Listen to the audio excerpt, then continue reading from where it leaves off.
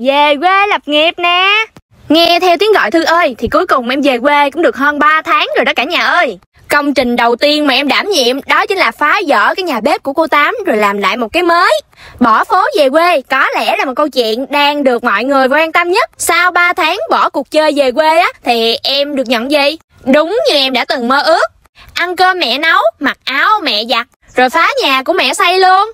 Tại vì á, là lúc em mới về thì cái chỗ mà em vừa đập á, là cái nhà tắm tạm bợ của cô Tám luôn á. Cái chòi lá này á, được cô Tám cất lên từ 6 tháng trước. Dàn bếp á, thì được làm tạm bợ thôi à. Em á, thì mê lắm một cái bếp thiệt là xinh. Thế là em dỡ nguyên cái nhà bếp của cô Tám để làm mới lại luôn. Quyết định bỏ thành phố về quê. Thiệt sự là tại vì em thích lắm. Một cái căn nhà lá nhỏ nhỏ rồi một căn bếp xinh xinh. Sáng thì hái rau, nấu cơm, chèn đét ơi, nó đã gì đâu luôn á. Đầu tiên là em được trải nghiệm cảm giác tự tay mình bắt từng con ốc rồi chọn từng cái cây, sơn từng cái thanh gỗ. Những cái việc mà em tưởng chừng như là chẳng bao giờ mình có thể dám làm hết á. Tại vì hồi trước em sợ xấu, sợ đen, sợ dơ, sợ đủ thứ hết trơn à. Chỉ có ăn quậy phá là giỏi thôi. Còn giờ thì em báo giỏi dữ lắm.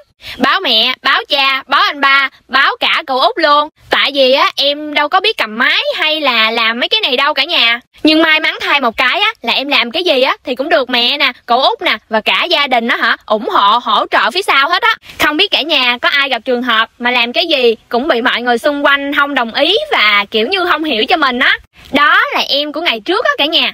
Còn đối với em hả, Thì bên ngoài ai nói gì nói, Miễn sao cả nhà em ủng hộ em là được rồi. Cây mà để làm bếp này á, Thì trụ em dùng cây trăm, Còn lại thì dùng bằng cây lô ô hết trơn luôn. Lô ô quê em còn gọi nó là cây tầm dông á cả nhà.